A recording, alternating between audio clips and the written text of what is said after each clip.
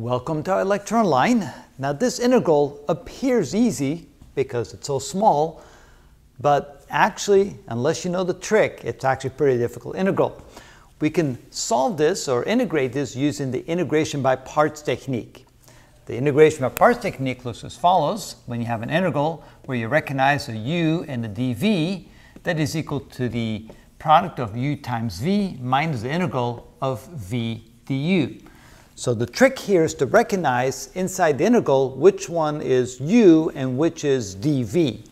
And you'll find that if you let natural log of x equal u and the dx equal dv, then you can actually integrate that. So what that means is that you have to go over here and say let u equal the natural log of x, which means that du is equal to 1 over x times dx and let dv equals dx in such way that v equals x.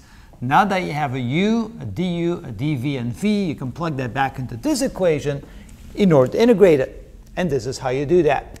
So u is equal to the natural log of x. And we multiply that times v, and our v is equal to x minus the integral of v, which is x times du, which is 1 over x dx.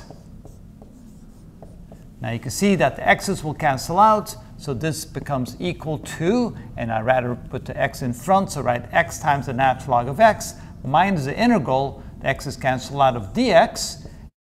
And then when we integrate this, we get the following. We get x times the natural log of x minus x plus a constant of integration which is the result of this integral right here. So the integral of the natural log of x dx is this right here, and that's how it's done.